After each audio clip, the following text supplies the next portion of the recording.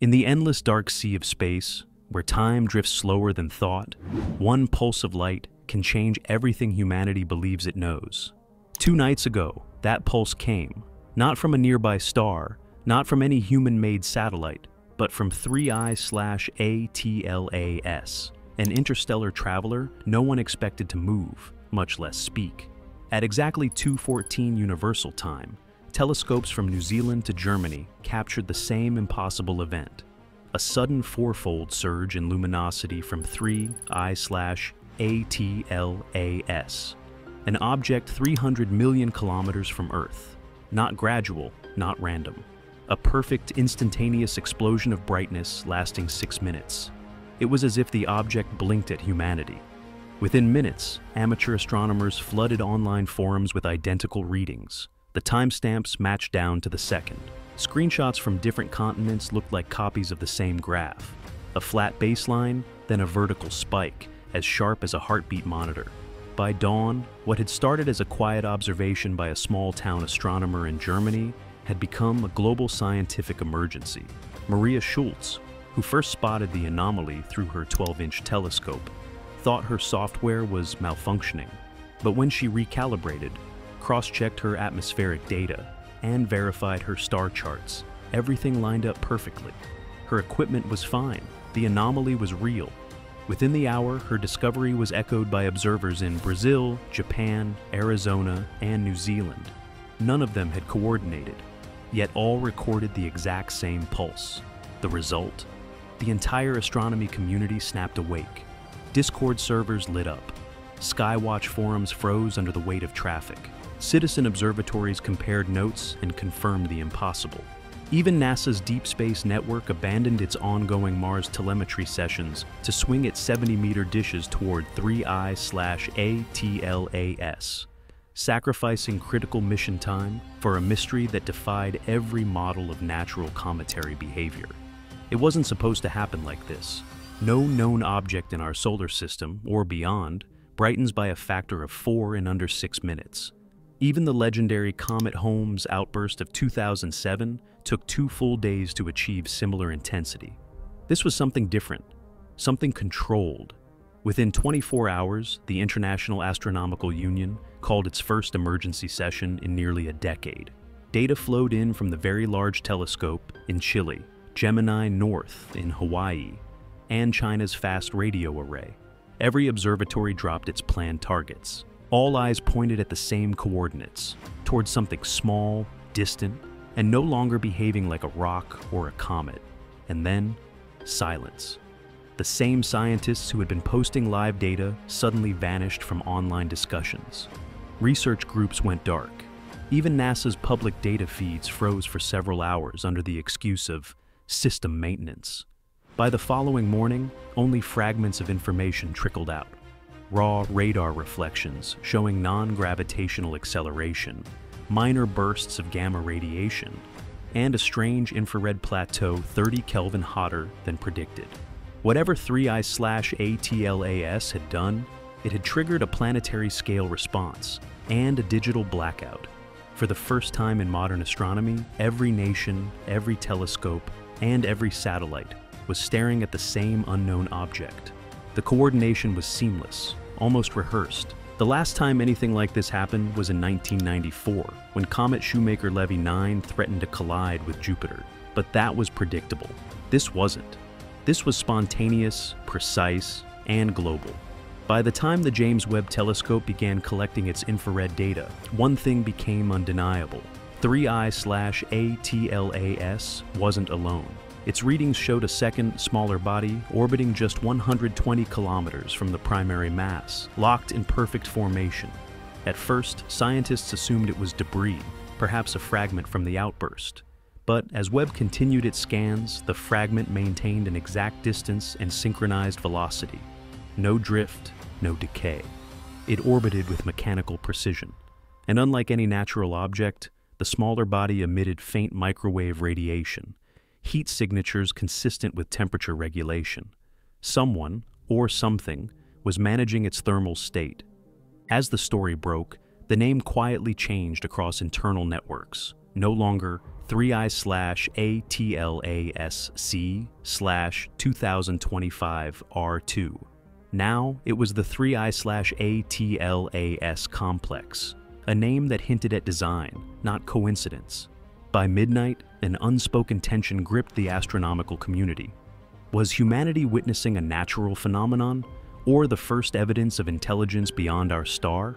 No one could say. But one truth echoed across every private channel and encrypted feed. Whatever was happening, it wasn't random. It was coordinated. And perhaps, just perhaps, it was watching us back. For two days, the world's best instruments watched 3i slash ATLAS in total silence. No more brightening, no more gamma spikes, no new data, just a cold, drifting object on a dark trajectory beyond Mars. But then, at 307 Universal Time, the silence broke. Every telescope on Earth, every dish, every satellite, registered a synchronized surge from the same coordinates. The pulse came in three distinct bursts, each exactly 247 seconds apart. To the untrained eye, it looked like noise, but to scientists, the intervals were too precise to ignore. Nature is chaotic, not rhythmic. And yet, here was rhythm, steady, deliberate, mechanical. Inside NASA's data room, a red banner flashed across every monitor. Coherent pattern detected. At that same moment, radio antennas in Chile, Japan, and South Africa picked up a faint but structured signal directed toward Earth's orbital path. A signal that wasn't supposed to exist. For 12 seconds, 3i slash ATLAS emitted a focused radio beam, tight, narrow, and mathematically perfect. And then it stopped just as suddenly as it began. Within minutes, the data hit encrypted channels and the panic started. Deep Space Network engineers confirmed the signal wasn't solar interference, nor reflection, nor cosmic background. It was real, coherent, modulated, and bearing a frequency alignment that every physicist recognized immediately. The hydrogen line. The hydrogen line is the universal handshake of science, the one frequency every intelligent civilization capable of radio astronomy would know. Hydrogen is the alphabet of the cosmos. Whoever, or whatever, sent that beam understood that. But it wasn't just the frequency that terrified researchers. It was the timing. Exactly 12 seconds after the beam ended, Earth's magnetic field wavered. Sensitive magnetometers recorded a pulse echoing through the ionosphere, altering the Schumann resonance, the natural heartbeat of our planet, by 0.02 hertz. That fluctuation lasted less than two seconds, but to those who knew what they were looking at, it was unmistakable. The signal had touched us. Publicly, NASA called it a localized magnetic anomaly. Privately, the International Asteroid Warning Network issued Containment Directive Helios, ordering all institutions to withhold new 3 I/ATLAS data until further assessment. But by then, it was too late. Someone had already leaked a spectrogram. It came from inside the Square Kilometre Array Observatory in Western Australia. A junior researcher, anonymous even to this day, uploaded the raw waveform to a private physics forum. Within hours, users reconstructed the signal, and what they found made even the most skeptical scientists go silent. When the waveform was converted into a visual spectrogram, a pattern emerged six perfect hexagons spiraling around a single central point of light. It wasn't random noise, it was geometry, symmetry, intention. The shape matched, pixel for pixel. The James Webb Telescope's most recent infrared image of the 3 I/ATLAS complex. Two bodies moving in harmony, surrounded by a faint hexagonal halo. The realization hit like an asteroid. The transmission was a reflection, a mirror of its own structure, encoded in radio. It wasn't just broadcasting, it was showing us what it was. Experts called it the blueprint hypothesis. The signal was a schematic, a three-dimensional mapping of orbital resonances, harmonics, and alignments that eerily matched the architecture of our solar system. Each hexagon represented an orbital position, with one glaring absence. At the center wasn't the sun. It was a void, an empty space, and the current position of that void matched the location of 3i slash ATLAS itself.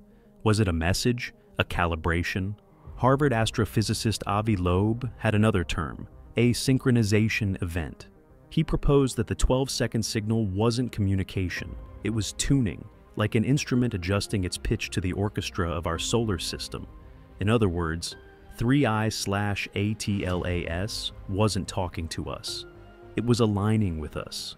When that theory hit the underground networks, chaos followed. Conspiracy forums lit up with claims that the object was artificial. Whistleblowers hinted that the Webb team had observed geometric diffraction spikes, edges, corners, repeating surfaces, something engineered. Even more disturbing, multiple amateur astronomers independently reported seeing the halo around 3I slash ATLAS intensify, a soft, glowing envelope expanding outward like a breathing organism. And yet, there were no official statements, only silence. Behind closed doors, Project Helios expanded into a multi agency task force spanning NASA, ESA, and private contractors. The leaked memo described 3I/ATLAS as a dynamically active system demonstrating artificial coherence. But that phrase was buried under layers of classification. Publicly, astronomers returned to discussing solar flares and asteroid tracking. Privately, they stared at the spectrograms in disbelief. Because when they overlaid the decoded blueprint onto our solar system's orbital map, the alignment wasn't approximate, it was perfect. Each vertex of the hexagonal pattern corresponded to a gravitational resonance point between major planets Jupiter, Saturn, Earth, all locked in rhythm. And at the heart of it all, the void, the position of 3i slash ATLAS, as if the object wasn't visiting at random, but arriving on schedule. If this story sent a chill down your spine, do the one thing the algorithms can't silence share it, post it on X, send it to your astronomy group. Because if 3i slash ATLAS is really tuning itself to us, the next pulse won't be for scientists, it'll be for everyone. And before that moment comes, like this video, subscribe, and keep your notifications on. Because when the next signal arrives, you'll want to be here to hear it first. For nearly a week after the 12 second transmission, the cosmos went still again. 3i slash ATLAS drifted quietly beyond Mars's orbit, its once blazing light reduced to a cold, steady glow. To most, the event was over, but deep inside underground research networks, the decoding had only just begun. In a sealed data lab beneath Canberra, Australia, a small team of radiophysicists continued reconstructing the original waveform from the leaked square kilometer array files. The pattern, the six hexagons around a glowing center, had already shaken the scientific world. But when the team filtered the waveform through phase inversion algorithms, something new appeared. Hidden beneath the visible pattern was a secondary harmonic, a modulation that shouldn't exist. It pulsed faintly at a rhythm of 7.83 hertz, the same frequency as Earth's natural Schumann resonance, the planet's electromagnetic heartbeat. At first, they thought it was interference, but the amplitude was too exact, too deliberate. The hidden layer wasn't noise, it was an echo of Earth itself. That meant one thing. When 3i slash ATLAS sent its signal, it had already analyzed our planet's electromagnetic signature and matched it. It was, in a literal sense, speaking our frequency. When the data was relayed to NASA's Jet Propulsion Laboratory, the reaction was immediate. A classified memo went out across secure channels titled reciprocity hypothesis. The conclusion was simple and terrifying. The beam from 3i slash ATLAS was not the first message. It was a reply. According to the report, Earth had unknowingly transmitted a fragmented signal weeks earlier, an accidental electromagnetic pulse generated by the synchronized tracking of 3I-ATLAS across thousands of instruments, satellites, and radar networks. The energy from that collective observation had bounced off the object's surface, encoded with our unique radio fingerprint. In other words, when humanity looked at 3i slash ATLAS, it looked back and answered. But it didn't stop there. New telemetry from the James Webb Telescope revealed faint microwave oscillations surrounding the 3i slash ATLAS complex, as if it were generating a magnetic field bubble, steady, self contained, pulsing like a heart. Then, For the first time in over a week, the object moved, not drifted, maneuvered. Its smaller companion shifted 20 degrees relative to the primary mass, maintaining distance but changing formation in what appeared to be a controlled burn. Infrared sensors recorded an instant spike in temperature, followed by a sudden cooling phase exactly 12 minutes later. Some described it as an adjustment, others as a signal alignment event. Within hours, rumors leaked from within the European Space Agency that both bodies of the 3I/ATLAS complex were now in perfect harmonic synchronization with Earth's orbital frequency. If true, it meant that the objects weren't just observing, they were synchronizing with the planet's motion, rotation, and electromagnetic resonance. And then, quietly, something began happening on Earth. All across the globe, magnetometers and ELF receivers started detecting faint, rhythmic pulses, barely measurable, yet identical to those recorded in the aftermath of the 12 second beam. Every 247 seconds, a whisper of resonance swept through the ionosphere, too weak to notice, but too structured to ignore. At first, only labs noticed. Then pilots reported strange static bursts over the Pacific. Marine communication systems flickered for milliseconds at a time. And then, an eerie pattern emerged. The disruptions followed the same timing, 247 seconds apart. Someone, or something, was still transmitting. Governments scrambled to contain the data. Power grids underwent unscheduled diagnostics radio telescopes were quietly told to deprioritize interstellar sources. But one image slipped through. An unverified feed from a Chilean observatory showed the 3I/ATLAS complex glowing faintly, encased in a hexagonal field of luminescent plasma. To those who saw it, it looked less like a comet and more like a machine powering up. Meanwhile, in Cambridge, a small group of astrophysicists led by Dr. Eleonora Voss had been analyzing the 12 second signal's deeper structure. When they mapped its harmonics in 3D, the resulting geometry wasn't random. It corresponded almost perfectly to the orbital distances between Earth's planets, but with one chilling deviation. At the center of the model wasn't the Sun. It was a point, empty, dark, and mathematically defined by one coordinate, the current position of 3 I slash A T L A S. That realization forced one conclusion. The beam wasn't meant to communicate, it was meant to calibrate. Something out there had locked onto the solar system, like a musician tuning a string before the performance begins. And that's when the final anomaly struck. At 212 UTC, while the James Webb Telescope was focused elsewhere, its secondary instruments detected a momentary interference spike so strong it overloaded the detectors for exactly 12 seconds, the same interval as the original beam. Every instrument on Earth synced to that frequency, magnetometers, satellites, even smartphones connected to global positioning networks, recorded a faint pulse, a single echo, and then nothing.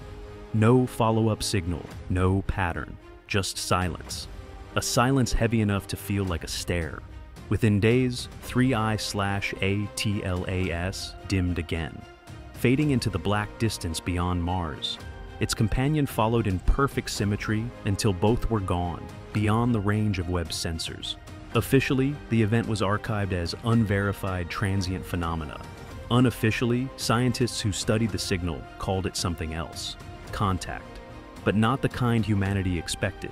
It wasn't a greeting, it wasn't a warning, it was a synchronization, a resonance check, as though something beyond the stars was simply making sure we were still here, and maybe, just maybe, preparing for what comes next. If this story made your pulse match that 247 second rhythm, then you already understand. Something out there heard us. So don't let this vanish into the static. Share it on X, on Facebook, anywhere you can before it's buried. And hit like, subscribe, and keep your notifications on. Because when the signal returns, you'll want to remember where you were the first time Earth was answered.